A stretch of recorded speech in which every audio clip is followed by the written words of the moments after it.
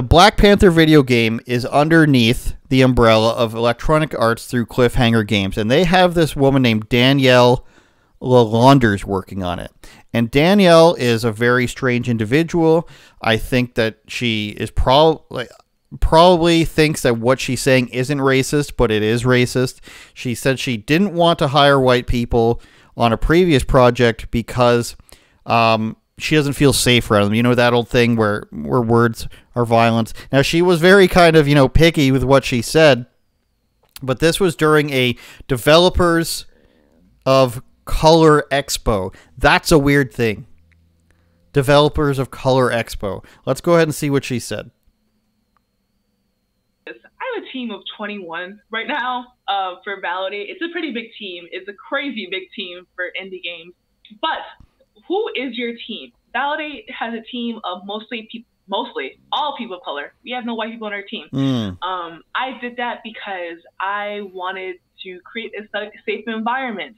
And I know the best way for an environment to be safe is to be around people who are just like me.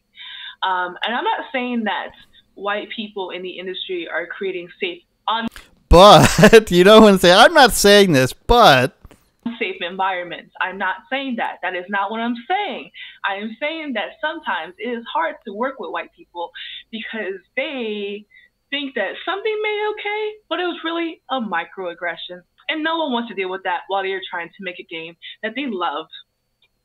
She thought that was a big moment because she forgot the word some be something may be okay. That's really weird. That's really um that's a weird thing to say. Replace it with another race. Let's say um, I don't want to work with Japanese people. Somebody says because they make me feel uncomfortable. That's weird.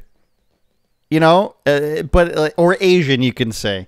That's not the only thing she said either. And I want to go back to what she said earlier in that uh, in that talk, and then we'll get to the game that she was actually referring to, which is a really weird game. She's not referring to Black Panther, but she is working on Black Panther. She's non-binary, by the way. I want to point that one out too. Is that she identifies as non-binary, but this is a chapter from that same, you know, what is it called? Game devs of color. So weird. Let's celebrate people based on the color of their skin. Oh, very edgy and cool, you guys. Um, this is a chapter called White Centric Industry, and she, you know, explains, you know, white people, eh, you know. is a lot of work.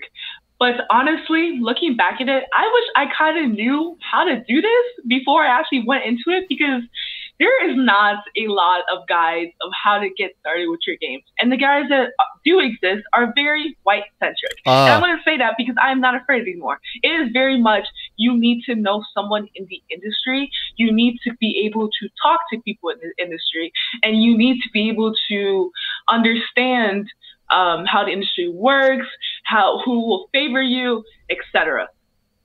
I am clearly not a white person. I am clearly not a white man. Oh, I see. She's not a white man, you guys. Um, we'll we'll save it. I'm a black non-binary woman.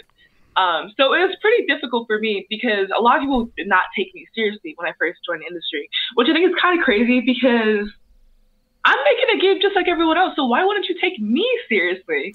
Okay, here's the hard truth, uh, Danielle.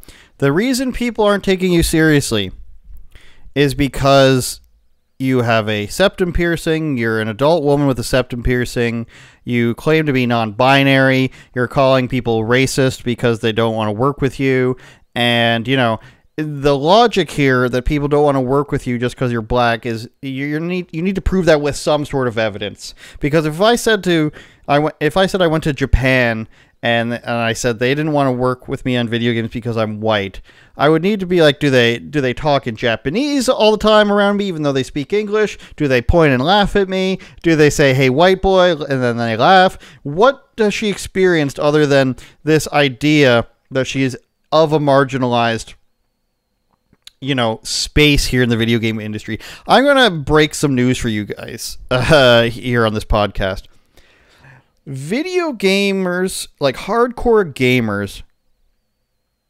they're not racist. Hardcore gamers tend to be more nerds. There is not room in a hardcore gamer's day for discrimination based on the color of your skin. citation number one you can't usually see the person who you're playing against. Maybe they have an accent, maybe you can kind of tell their background by hearing their voice. But I have played many a game where you have no idea where the person's from, besides maybe their flag. That does not tell you that their what their racial background is. Um, you know, gamers may swear at you, they may make jokes about your mom, they may even say racist things, but it's to whomever they are playing against, no matter their background.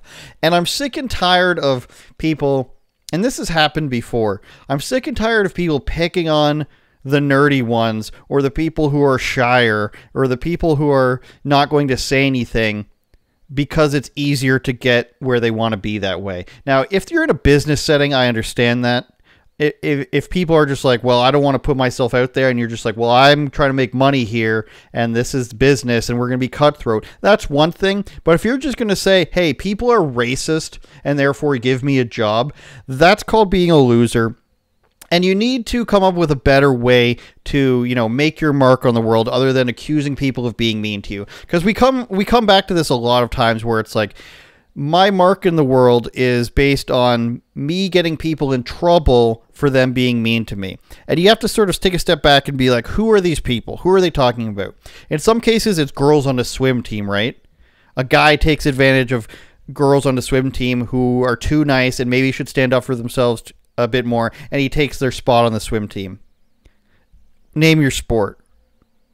Or a girl takes advantage of a guy like when Aziz Ansari, a comedian who's who's small and like kind of kind of weird, and she says that guy sexually harassed me. Or in these cases where people say, "Oh, gamers are this and that," as if gamers they want gamers to be a Chad caricature, basically a white guy with a shaved side haircut, shaved on the side, flicked slick back on top, who's sitting there. He's muscular. He's doing HGH in one arm. He's drinking, you know, a 6.6% beer in the other arm. He hates women. He hates minorities. That's who they want gamers to be. It's just not, okay? It's not it's not who they are. You can try and try again, but never in my life have I heard, heard uh, you know, any sort of significant amount of gamers come out and be like, we uh, we dis- we would prefer to discriminate against people based on their race, and we need to shut the door on them. That's just not how it works. Now, I want to talk about this game she worked on because we're talking about how you know she was kept out, and she said she decided she wanted to hire only black people for the game that she was working on. And the name of the game that she came up with, guys, prepare yourselves. It's called Validate. Struggling singles in your area. Validate is a romance visual novel and dating simulator developed and published by Veritable Joy Studios. The game follows 13 characters as they navigate love, friendship, adulthood in Jersey City. Now they have these plots that they're following these daters, and who are the daters do you have? A Popeyes manager. I'm just going to say what they really mean because I don't work for them. Uh, it's a 26 year old Popeyes manager who's a rapper a 27 year old theater teacher who lives with her home and she's being smothered, a 25 year old Instagram chef who's insecure, and then the best one.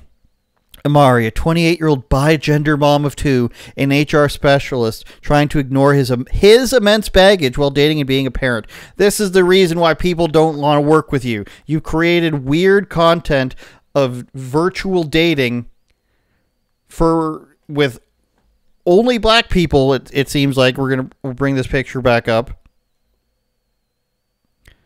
Maybe this guy's white. Can't tell. Can't tell. But this is the game you came up with with bi, bi gender guy moms or something.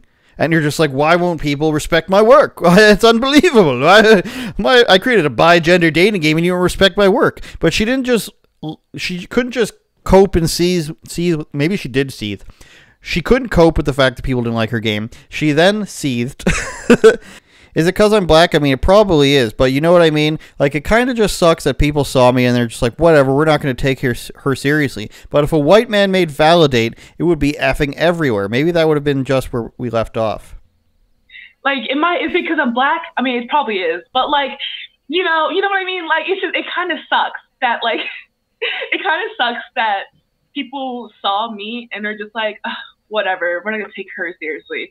But if someone makes, if a white man made validate, it would be fucking everywhere. That game would be everywhere. You could see the delusion in her eyes. The game would not be everywhere. It's a game about dating with a bi gender mother. It's over. Like it, it was not a good idea. Move on. You're working on Black Panther now. You still have time to turn it around and not be weird and racist, um, and not say I don't want to be around white people because they might be, you know, di- different and look different from you. That's really weird. But Danielle, there's still time to turn it around. You can still respond to my email. We can have a chat on in this format where I'll be nicer than I am when I'm speaking to the camera, and I'll let you speak, and then maybe I'll laugh at the weird stuff you say. No promises.